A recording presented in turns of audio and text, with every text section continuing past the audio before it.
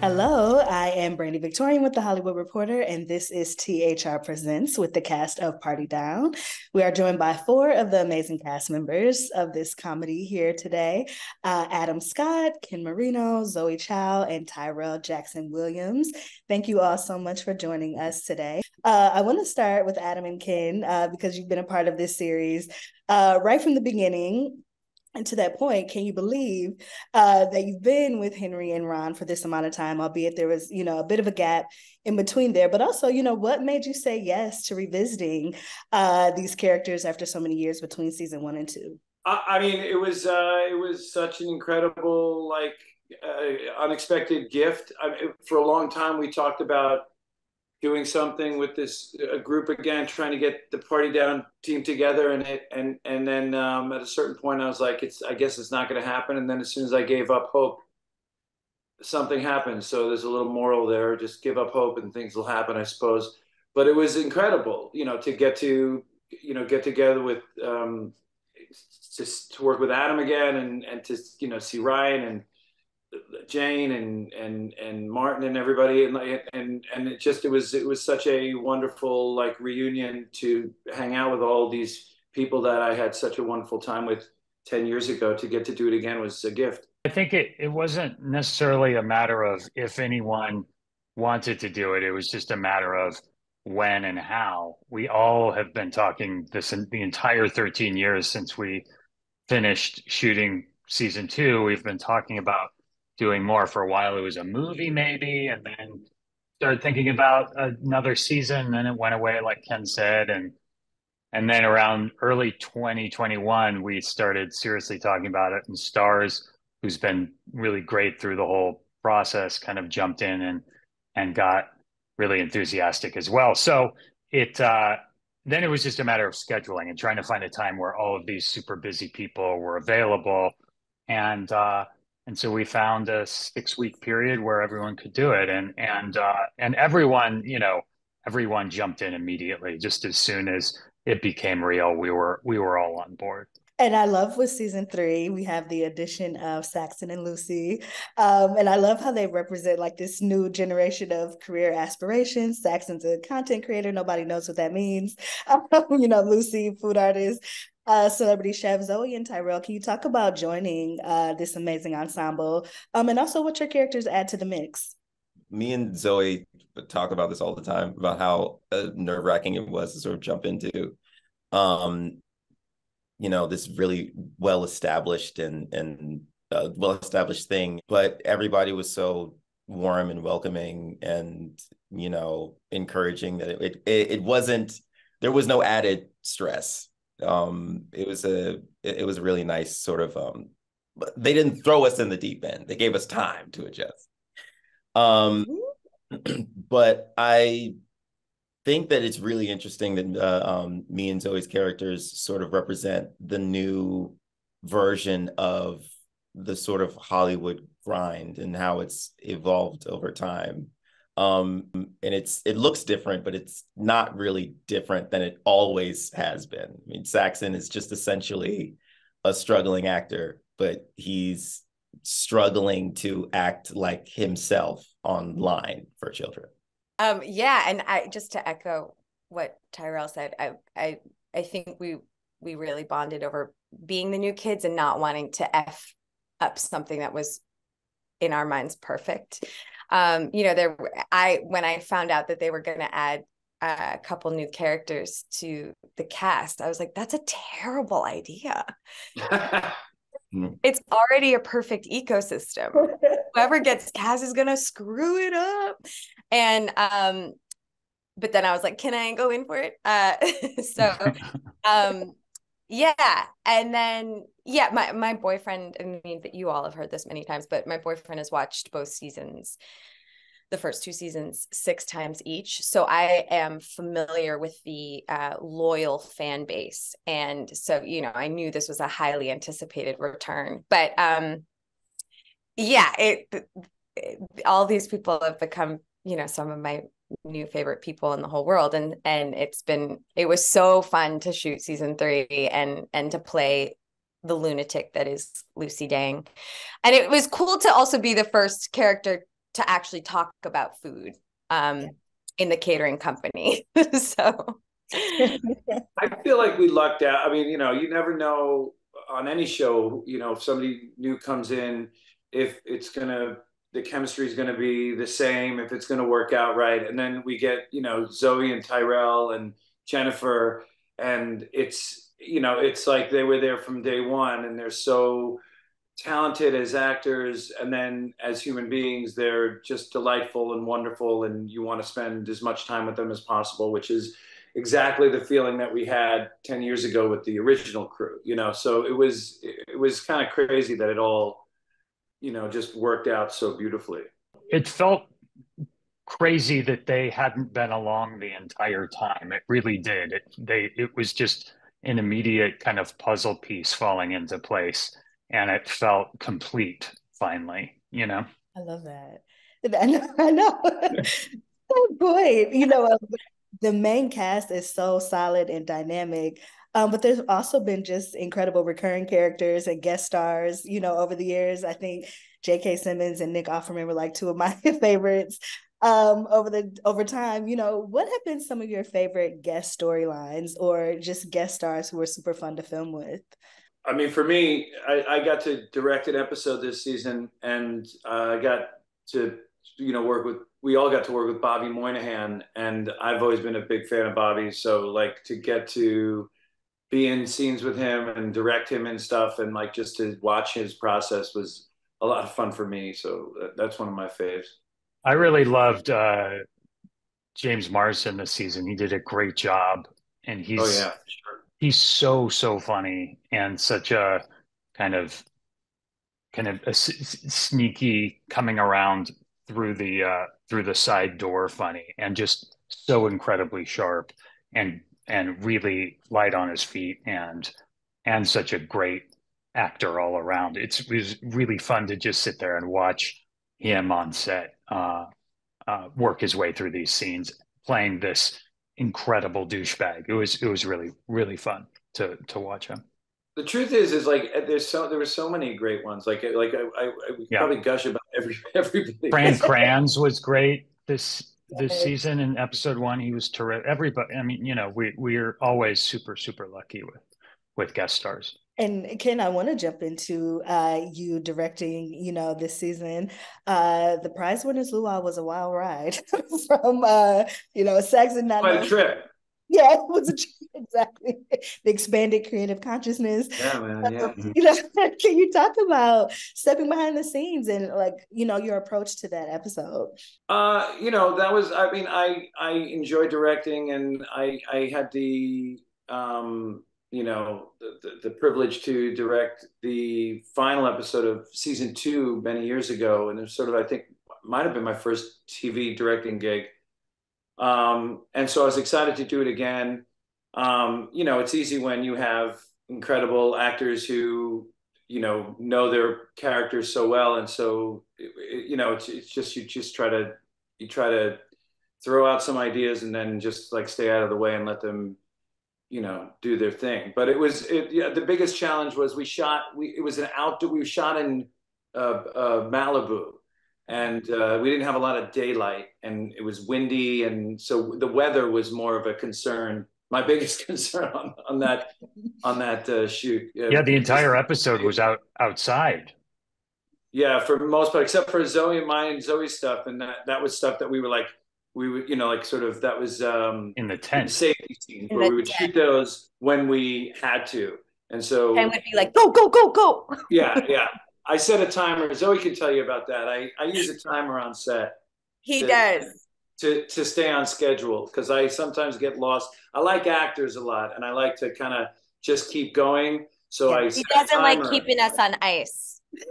yeah, I don't like anybody on ice. I like everybody just to stay nice and lathered and keep going and going and going. But I sometimes lose track of time, and so I always have a timer. But um, sometimes I make the mistake of showing the actors the timer and going, "We have two and a half minutes left." and I did that with Zoe and um, uh, what, what, psychotic. It was startling, I think. I, I felt like a, a camelback uh, like to just like wall acting with Ken because I was just like, I don't have the stamina for this. Sorry. Like, and again, and again, we'll roll, we'll roll, we'll roll. I'm fine with him keeping a timer. The thing I don't like is him saying, I want to keep all the actors lathered. I do That's have the, old, with fair, the that's only fair. thing that That's I, fair. I Happy you just didn't let can't that fly by, Adam. We're all workhorses. It's just a metaphor, guys. That's all right. well, Adam, you also get, uh, came back as a producer for the series. Can you talk about why that was important uh, for you and any type of you know creative direction that you know that you provided in that role? Um, I was a producer on uh, season two uh, back in the day, about 13 years ago. Um, and uh, yeah, I just, I, you know, the, the Dan and John Enbom, the showrunner, um, and Rob and Paul, the creators, we're all friends and um, have known each other a long time. And um, and uh, we've just been in touch over the years and trying to find the right time to do it. And uh, and they were generous enough to include me in in those conversations about like when and and how to do it. And so, I my thing about producing is I'm just there to help wherever I can. And those guys, it's their show, and so I just let them. Um, uh, uh, utilize me wherever they can and whenever they can. I just can tell them to consider me on call to help whenever and however. It's basically that's what I think producing should be is being as helpful as possible at all times. And so that's just what I what I try to do with with uh, with the show. I remember when uh, we all got an email as uh, from Adam as producer. and He's like, "Guys, I'm the producer on this. Just remember to be on time and stay lathered." That's right. and then Ken stole that from me and started using it. That's why I don't like Started it when he says it because it's using it as mine.